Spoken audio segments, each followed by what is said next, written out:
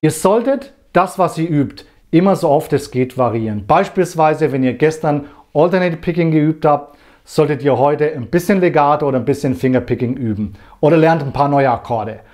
Habt auch keine Angst, andere Stile kennenzulernen. Das kann sehr, sehr inspirierend sein. Probiert das, was ihr übt, in einen Song einzubauen. Das wirkt viel weniger trocken und kriegt einen coolen musikalischen Kontext. Mein Tipp dabei ist, nehmt euch auf, Entweder mit einer Kamera oder mit einem Looper. Musik